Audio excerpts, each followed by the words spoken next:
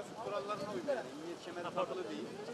Emniyet kemeri takılı değil. Onunla alakalı ceza işlem uygulanacak ama taksimetresini açtık. Kısa mesafe aldık. Sıkıntı yok. Dolma maçı söyledim. Hadi ya bulmuşken bari binelim. Gerçekten artık bunların için ben yapamıyorum. Evet, buyurun.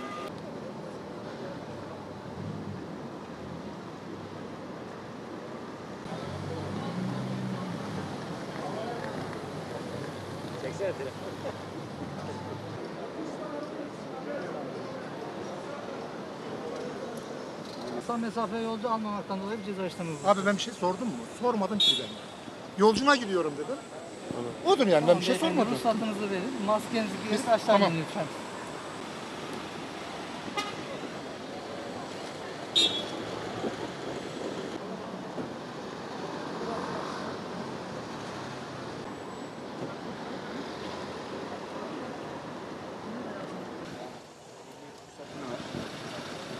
Bir daha söyler misiniz? Ehliyet ruhsatını arkadaşlara ver. Polis memuru. Kısa Kısa mesafe. mesafe tabii canım. Ha, Neden almıyorsunuz? Yani mesafeyi neden bekliyorsunuz? Ben mesafe diye bir şey sormadım. Lütfen.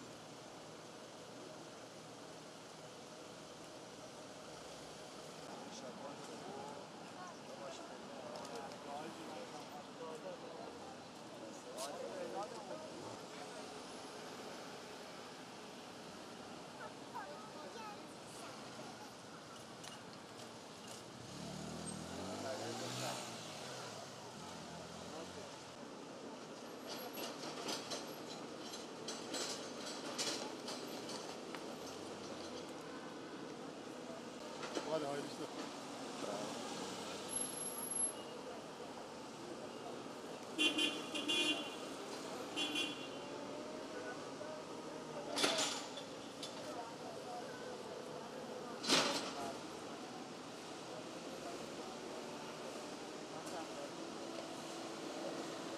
Artık ticarim bilmiyorum ben burada yabancıyım. Ee, taksiye bindim. Dedi ben o tarafa trafiğe çıkamam. Yarı yolda beni bıraktı. Taksimetrede 5 yazıyor. İndir bindir 15'miş. Aldı parayı yolda bıraktı gitti beni. Siz de yolda kaldınız. Yolda kaldım. Sonra e, durmuyor almıyorlar. Almıyorlar. Kısa mesafe diye almıyorlar. Mesela buradan Şişli'ye gideceğim almıyorlar. Ve aşağı Eminönü'ne ineceksiniz. Şişli'den Eminönü almıyorlar. Aldıkları zaman ya taksimetreyi açmıyorlar ya da böyle ne bileyim ben yani kafalarına göre bir şey uyduruyorlar. İnanıyorsunuz her şeye. Ben taksiyi güvenilir bilirdim ama hani korkmadan binme açısından insan bilmiyorum ben korkaraktan biniyorum. Acaba doğru mu yalan mı? almadı çünkü Osmanlı'ya gidiyoruz. Onda başka onda tarafa gidiyor. o başka tarafa gidiyor. Bir de çok e, çok uzak değil o yüzden almadı Kısa yani. mesafe diye mi almadı? E, evet, evet. Siz de taksi bekliyorsunuz. Evet. Şimdi yani bilemiyor musunuz? Taksiciler gerçekten almıyor. Onları bir yere şikayet etmek lazım. Böyle yapıyorlar almıyorlar. Siz Kısa mesafeye Kısa almıyorlar. mesafe uzun da almıyorlar. Müşteri seçiyorlar. Özellikle Arap kovalıyorlar. Evet.